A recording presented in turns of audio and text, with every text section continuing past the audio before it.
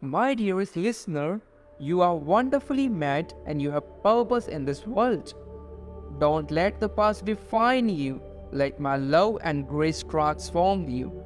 I'm always here for you and I will love you unconditionally.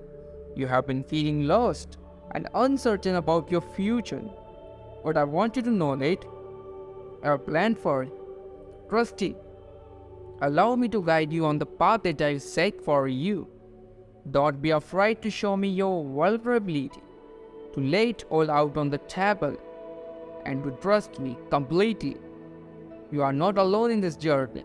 I'm right beside you, holding your hand every step of the way. Let go of your fears and doubt. Come to me with an open heart. I'm your loving Father. I will never leave you nor forsake you.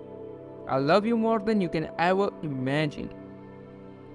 God says, guiding, protecting, may the Eastern message we present in our heart, giving us strength and courage to face life challenges.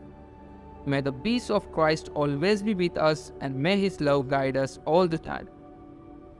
May the Lord bless and protect us, illuminating our path and giving us strength to face and difficulty.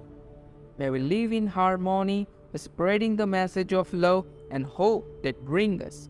God bless you. Amen.